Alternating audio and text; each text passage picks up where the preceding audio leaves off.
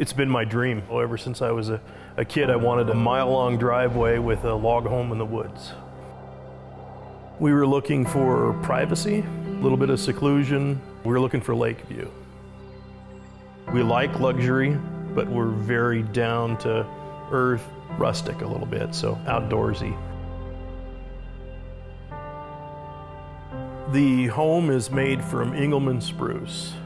We got them out of the Yaak River Valley up in northwest Montana by Canada. These are 100 plus year old logs. They're large in diameter, which you generally don't see. The entire house is custom. The island tops, the bathroom vanities, they were all cut from one great big first growth larch tree.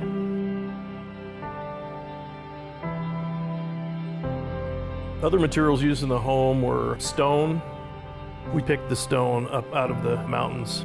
That's what we use for the fireplace and on the island and some of the exterior and also the shower.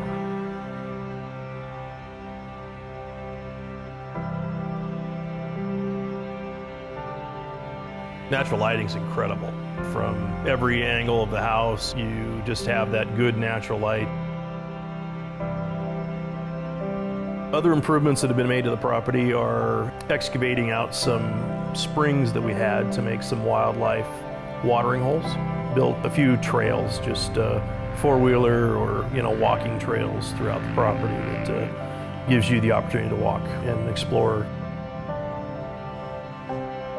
One of the things I really appreciate about being here is how private it is and how safe feeling it is being outside and just enjoying the deck and how peaceful it is. Watching the sun come up and usually the wildlife is coming alive and they're, they're running around. It's a large, fancy home, but at the same time, it's very comfortable. Genuinely, what I love about this place is how it makes me feel. I pull in the driveway on Friday and I don't go back out till Monday. You know, it's just, it feels good.